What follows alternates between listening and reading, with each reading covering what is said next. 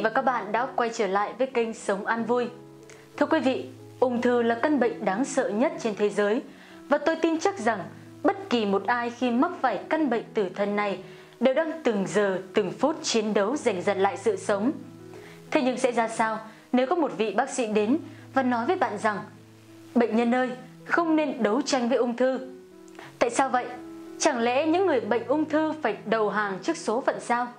Câu nói trên thực chất là lời khuyên của bác sĩ Makoto Kondo, người có kinh nghiệm 40 năm điều trị ung thư, chuyên gia xạ trị của Bệnh viện Đại học Keio, Nhật Bản. Phát ngôn này của ông đã gây nên nhiều chấn động và không phải ai cũng đủ dũng khí nói ra điều này. Câu hỏi đặt ra ở đây là tại sao ông lại khuyên bệnh nhân ung thư như vậy?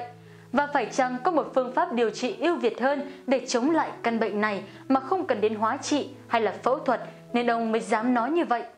Quả đúng là như vậy quý vị ạ.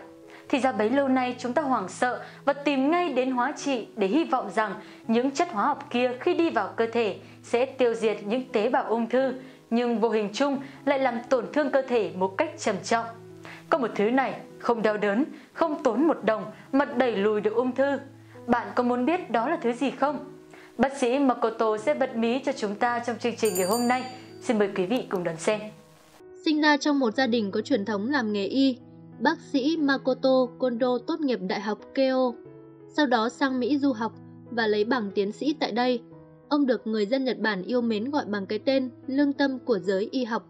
Sau khi về nước, ông đã làm giảng viên tại Đại học Keio, chuyên về điều trị xạ trị cho bệnh nhân ung thư, cũng là người nổi tiếng tiên phong về liệu pháp điều trị bảo tồn vú nổi tiếng ở Nhật Bản.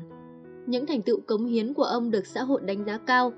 Năm 2012, ông giành được giải thưởng Kikuchikan lần thứ 60, giải thưởng cho các giới nhân sĩ có đóng góp to lớn cho nền văn hóa Nhật Bản.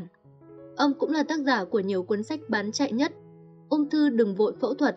Bệnh nhân ơi, không nên đấu tranh với ung thư. Liệu pháp tự bỏ mặc phát triển trong điều trị ung thư.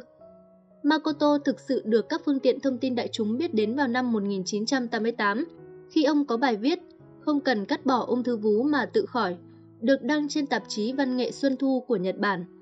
Quan điểm trong bài viết này trái ngược hoàn toàn so với nhận thức của đại đa số dân chúng, vậy nên nó đã thu hút sự chú ý nhiều người và gây ra ảnh hưởng rất lớn. Tuy nhiên, cũng chính vì đi ngược lại với những nguyên tắc thông thường trong giới y học, nên từ năm 1988, ông Kondo vĩnh viễn không được thăng chức tại trường đại học Keio.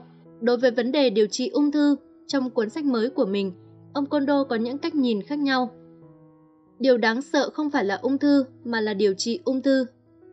Tại sao có một số người ban đầu tinh thần rất tốt, sau khi bị ung thư lại sống không được bao lâu? Đó là bởi vì họ tiếp nhận cách điều trị ung thư.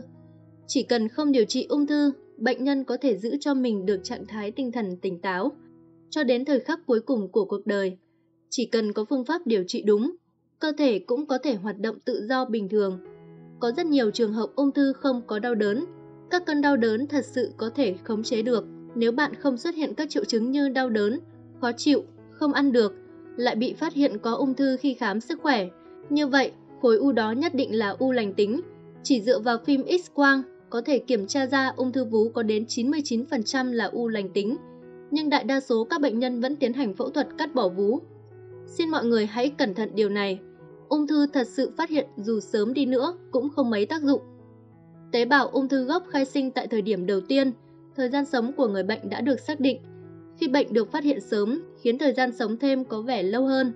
Vì vậy, trong rất nhiều trường hợp, chúng ta cần phải quan sát xem thời gian sống của bệnh nhân ung thư có được 10 năm không, mới có thể phán đoán được rốt cuộc một bệnh nhân có được điều trị khỏi không. Phẫu thuật là tổn thương nghiêm trọng do con người tạo ra.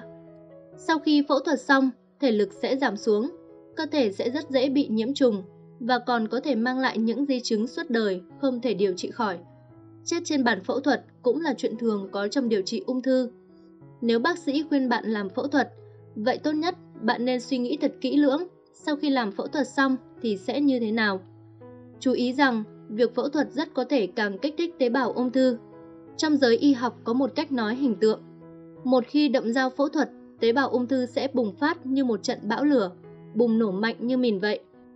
Bởi phẫu thuật sẽ để lại vết thương, miệng vết thương sẽ phá vỡ ranh giới của các tế bào bình thường.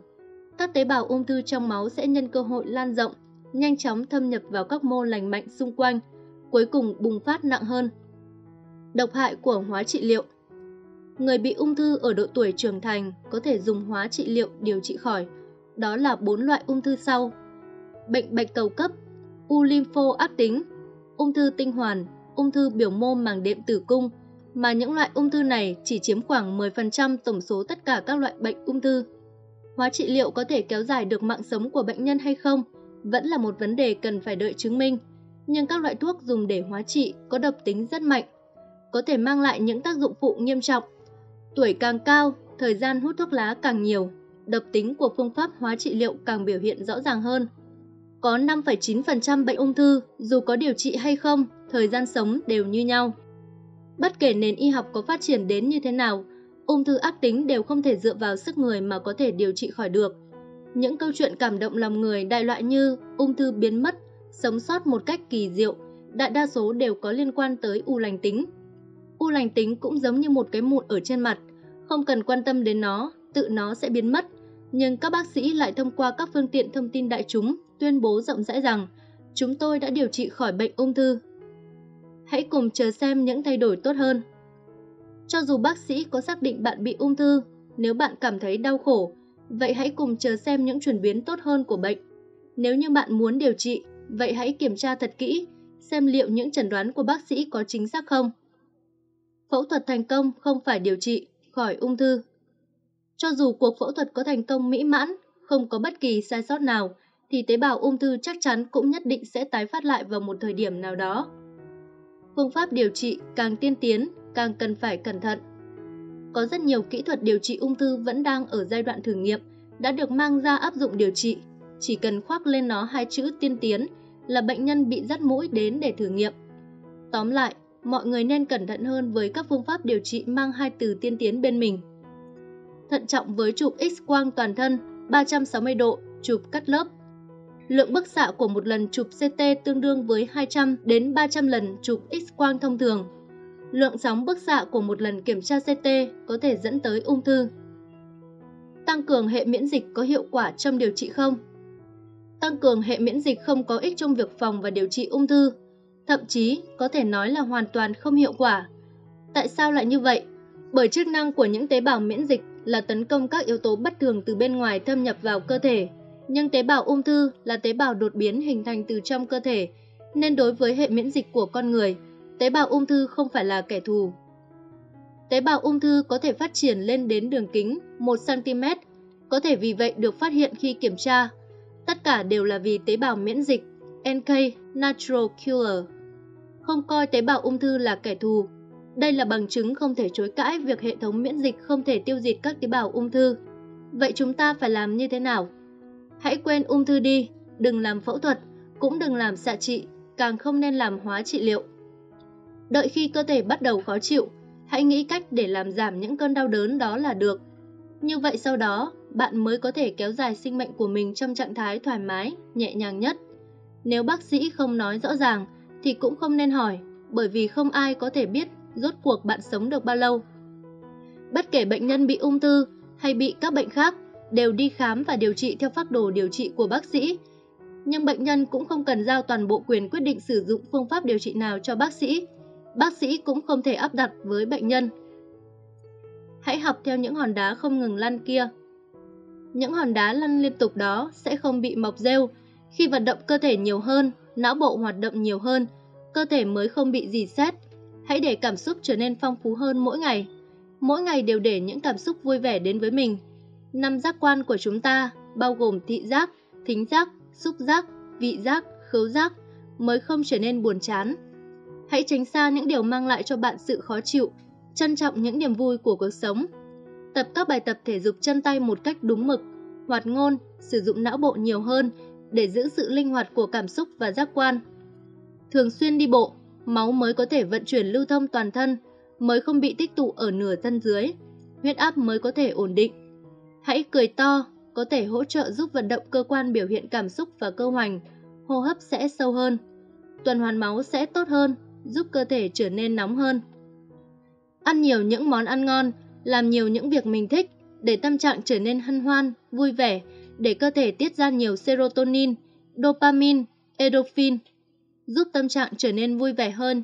Theo cách này, bạn sẽ thấy cuộc sống thật vui vẻ, hạnh phúc.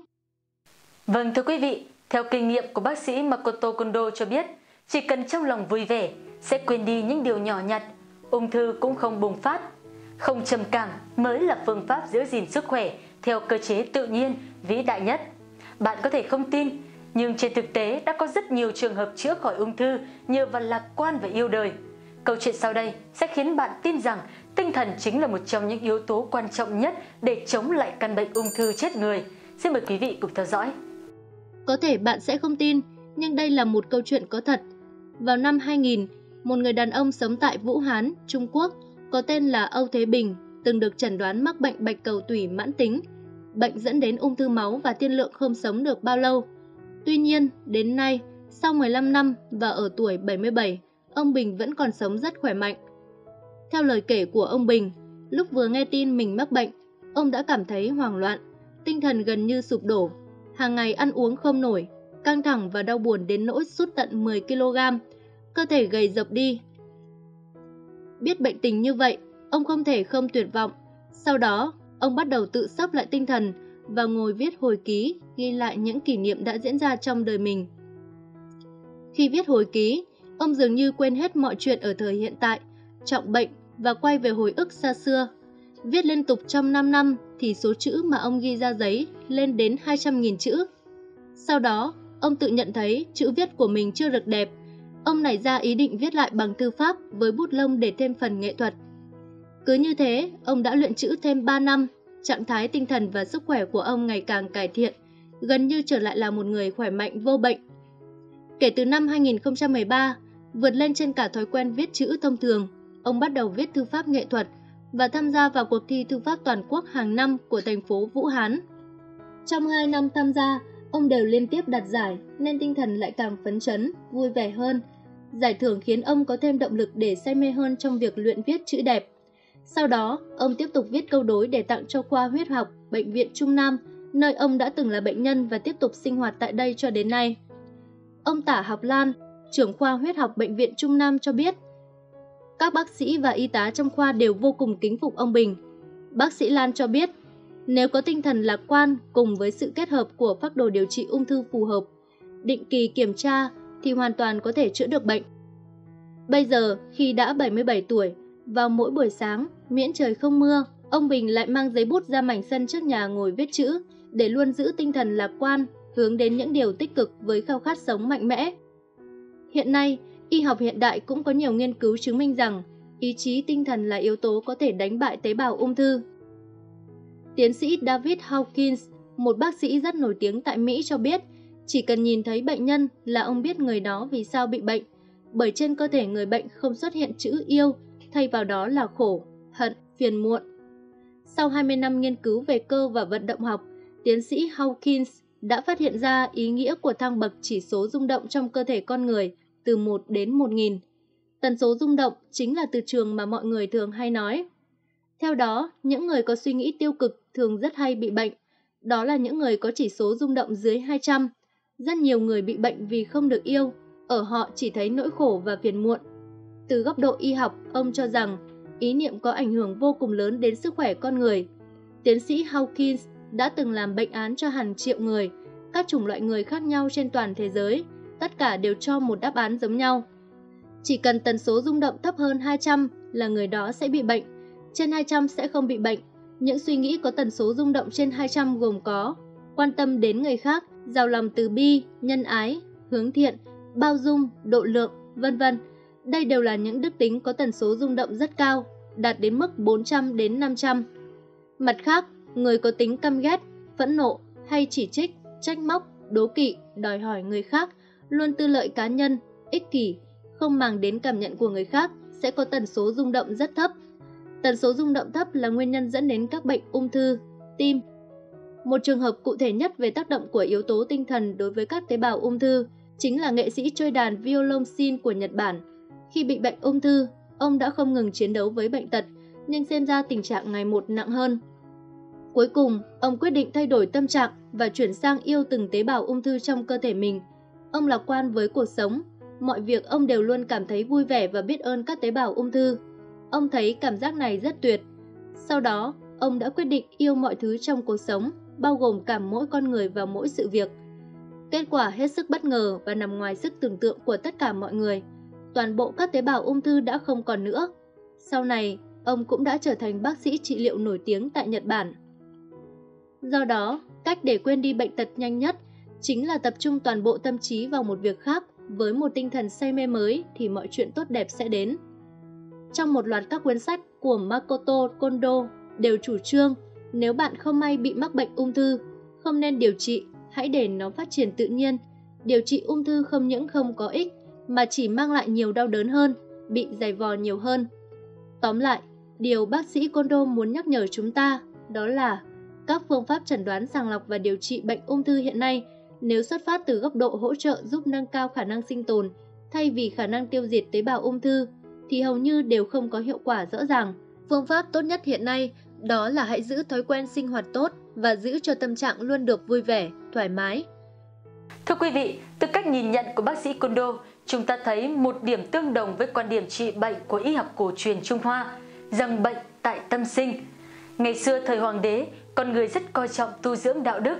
Nhiều người trong số họ là những người tu luyện theo các trường phái Phật gia và đạo gia, có đạo đức phẩm hạnh, sức khỏe tốt mà không cần dùng đến thuốc.